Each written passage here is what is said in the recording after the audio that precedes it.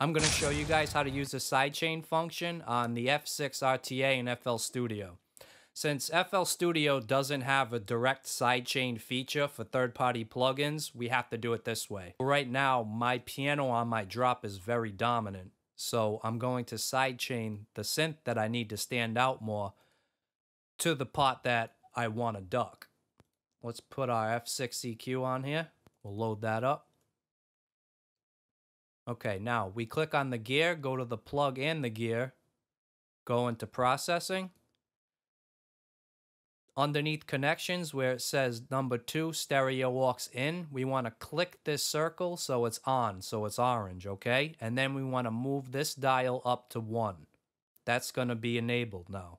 We go back to our plugin, pick a parameter that you want to use to start your ducking. And uh, this is very important right here. It's not going to do what it's supposed to do unless you do this step, okay? Right now it's on internal source.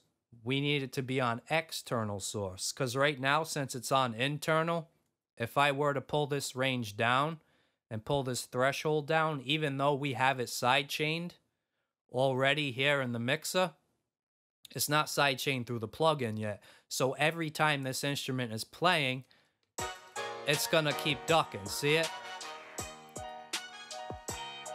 That's my main piano. We don't want it to duck all the time. We only want this to duck the frequencies and something else that needs to come out more. Because we're taking life away from this instrument while we're doing this. But since we're sidechaining it and this instrument is dominant in that pot anyway, you're not going to notice it and it's going to do its job. So we need to make sure that this is on external source. So it's only ducking when our instrument that we sidechain to this is playing, not while this is playing all the time. And external is going to do that. It's only going to be triggered now when that sound that I need to come out more plays. Okay? Did you see it? Watch.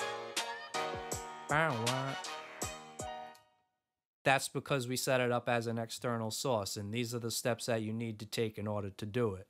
Okay? Thank you guys. I hope you follow, like, subscribe, share, whatever platform this is on, and you need to do to help me get my stuff out there more.